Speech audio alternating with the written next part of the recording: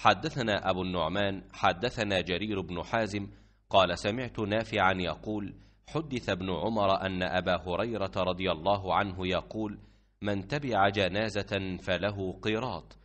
فقال أكثر أبو هريرة علينا